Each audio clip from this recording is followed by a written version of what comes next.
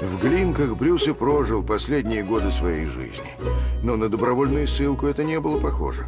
Он часто наведывался в Москву, а за год до смерти почему-то решил отправить туда свою огромную библиотеку. На десяти подводах привезли сюда огромное собрание книг, которое Брюс собирал всю жизнь. Более полутора тысяч томов по 20 научным дисциплинам на 14 языках. Кроме трактатов по механике, геодезии, астрономии, геологии, медицине и другим наукам, были в его коллекции книги по оккультизму, астрологии, а также травники и лечебники. На Руси каждый обладатель такой книги автоматически становился чернокнижником.